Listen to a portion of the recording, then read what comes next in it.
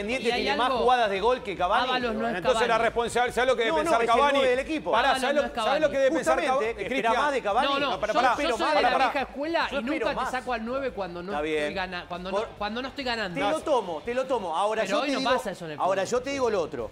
Yo te lo tomo hasta un momento, yo no lo hubiera sacado. Sí. Pero si vamos a la realidad y lo ponemos bajo la lupa, no Ah, está jugando bien. que- Gago, pará, pará, pará. No, Hace una no cosa, está ¿sabes lo que debe pensar bien. Cavani? Me sacás a mí, no me generás una situación de gol. Vos, Una. vos, vos Una hacés un equipo para que jueguen nunca para hizo mí. un gol en una jugada en todo- en pero toda su la carrera. responsabilidad del Bueno. juego, si Gago viene y juega con 3, con 4, con 5, Ayer con, dos, Boca con Winner, tuvo dos con esto, chances nada más. No le genera situaciones de gol. pero- pero Che, está volando la encuesta, ¿eh? Está volando la encuesta y la gente volando la coincide, luz. y la gente Sí. coincide con lo que planteaba Tato, esto de eh, probablemente estamos ante el peor partido de Boca. Ojo, acá hay algo también que es lo fresco, lo reciente. Claro, es la emoción- calentura emoción de, violenta. a la de- luz. de que Sí, sí, pasaron muy pocas violenta. horas, pero es contundente. Yo, por ¿eh? ejemplo, el elección de partido contra gente. Unión no me acuerdo. Claro, Sí me acuerdo del Platense. claro, por eso. YouTube. Che, a favor Claro. de Cavani también, la viene de meter el partido pasado. ¿no? Corriestra. Sí. Ah, bueno, Sí. está bien. No, te Centro digo, de Sarachi, ah, gol de no, Cavani. está bien, ¿Cómo está bien, dato? me parece No, que no, sí, no hace goles nunca. Te y- noto un tanto irónico. Sí, sí, un de la riestra. Esta fue la más clara del partido, Campeonato. tuvo Cavani. Y fue la única. Fue de la más clara de Boca, ¿no? Sí. De los... Pateó todo afuera. Después fue un Estoy remate de media distancia. Sí. Acá los tengo. Dos llegadas. Los nueve de los equipos grandes. Remates por partido. El que más patea es Borja, tres. El segundo que más patea es Maravilla, dos y medio. El tercero que más patea es Ábalos, 2.2. El cuarto es Cavani, 1.9. Y el quinto es Cuello, que no es 9, 1.7. ¿Cuánto dijiste? Claramente Cavani Patear, es patear, víctima. patear, sí, sí. Claramente pero pará, yo no digo lo contrario. Porque a Cavani le tiene que llegar no- la pelota para patear no al estoy arco. hablando, Casi el doble, No ¿eh? estoy hablando de, de qué, qué es patear. Patear, Patear al arco. No, ¿qué, patear? Patear al Remate, es un Perdón, remate. eh, Tu perdón, no es al arco. es remates, no es al arco. No es un remate, es patear. Patear. Vos te das vuelta y buscás el arco. Si, si va al arco, se va afuera, es patear por partido. Y Borja patea tres veces. Por partido. Y sí, claro. Juega de espalda, ¿no? Ot- Sí, otro claro, que no claro. está bien.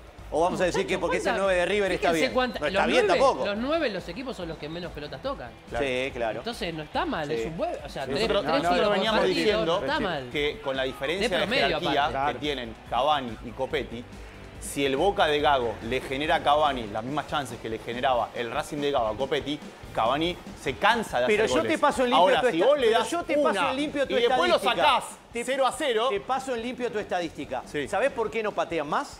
¿Sabés por qué Cavani no Porque patea más? la pelota. Porque, porque se la tiran a dividir y pierde. Porque le meten el centro atrás y no llega a tocarla.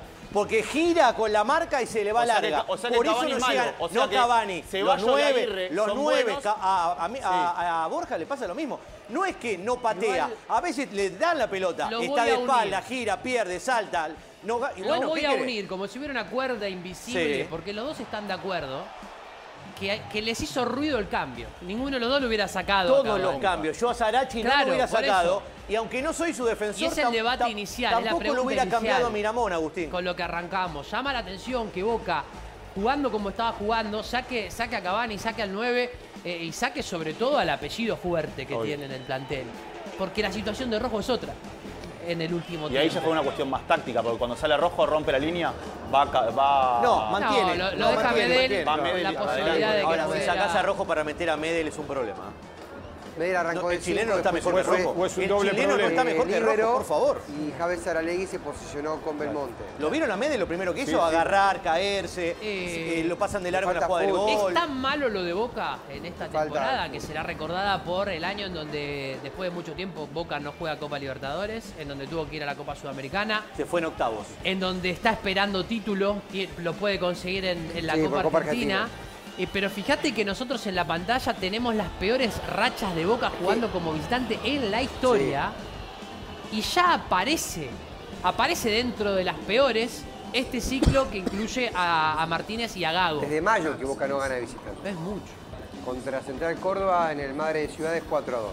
Desde ese partido a la fecha, Sí. Boca Juniors no ha conseguido un triunfo exactamente en 11 partidos. Fíjate que tenemos de, de la historia del fútbol argentino, arriba de, de- de- de lo de Martínez y Gago.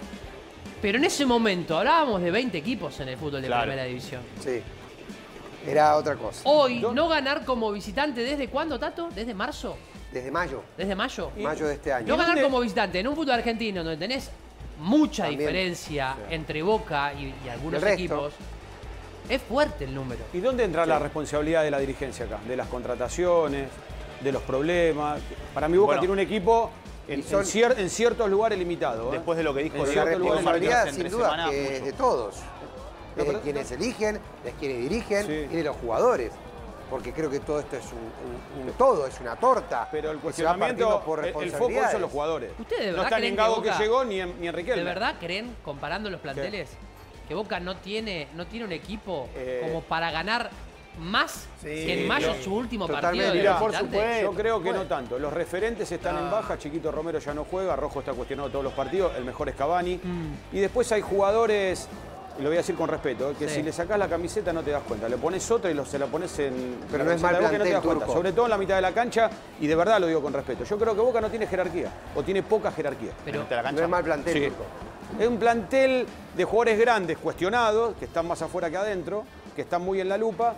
Y después, siendo un, un jugador joven que venís de afuera, como dijo Tato, la pelota te quema. Y era de visitante. Imagínate de local. mí es la típica, la de las cosas no van bien, los resultados no se dan, empezamos a hacer la cadena de responsables, obviamente. No, siempre la cadena, la primera cadena, no, no, la cuerpo primera cadena es el técnico. No, la primera cadena siempre afuera va el técnico. Bueno, Nunca van a echar no, un no, presidente. Es posible, no es responsable. No, no, pero hay Ahora- responsable también. Ahora te digo, hoy Boca Entonces- tiene el segundo plantel Pero si más vos- caro de fútbol argentino. Pero si vos, te- si vos tenés ¿Cómo una... Boca no va a ganar desde mayo Pero de si vos tenés un consejo de ¿Cuál fútbol. es la responsabilidad pero- ahí del consejo Pero de ¿cómo, fútbol? con- ¿cómo no va a tener responsabilidad un consejo de fútbol que se olvidó mandar un mail? Ni hablar. No, pero dale. No, no, pero- Estamos en Boca. No, no. Es Boca. Eso no está es claro. el club de barrio de, Eso está de claro.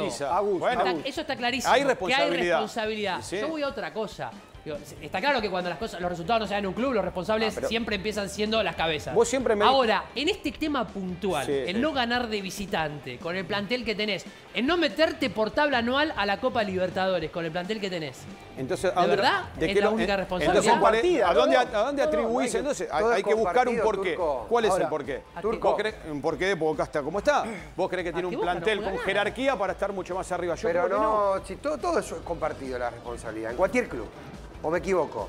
No, o no, decir, no, la culpa es de tal No, persona. no. De- no, la Lo que, culpa lo que- es de no, lo que yo escucho en el mundo Boca. parte del Sí, fútbol pero de yo Boca. escucho en el mundo Boca como que el foco está muy en, en- en el futbolista y no tanto en otros lugares donde también hay responsabilidad y Pasa que el técnico responsabilidad en serio. No, ¿Qué no, yo hablo más de consejo, Sí. Con el del propio de- Riquelme, con el diario del propio nosotros- Riquelme, esto- nosotros donde por ahora el- algunas balas le empiezan a entrar. Antes, mirá. antes tenía ese, ese caparazón de ídolo y ahora las balas le entran también. Hay un tema importante en Boca, que es que desde julio hasta la fecha, todo el mediocampo, que era lo que mejor funcionaba en Boca, ya no está. Bueno, Por diferentes motivos. Sí. X Fernández ejecutó la cláusula de rescisión, Bien, se fue. sí.